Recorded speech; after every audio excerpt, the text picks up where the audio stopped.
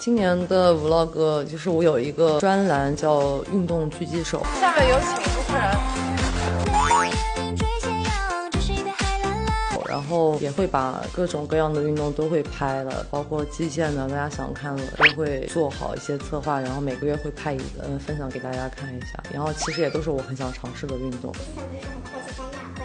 如果有工作去三亚，或者是有休息的时间去三亚的话，我觉得我应该会去尝试一下。但是其实我有一点点怕水，对，但是我我会想很想玩的。冲浪的时候呢，穿的比较少，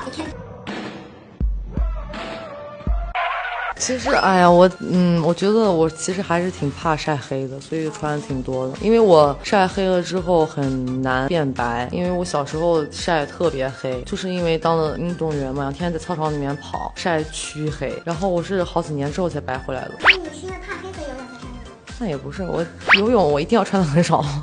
不是，而且我从来没有见过你穿这么多的，到我了。其实也我也比较害羞了。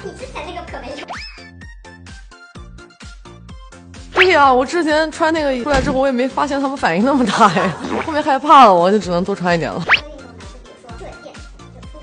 之前有我有玩过，但是因为我眼睛不太好使，就是我近视很深。算了，这个技术有问题，不找那么借口了。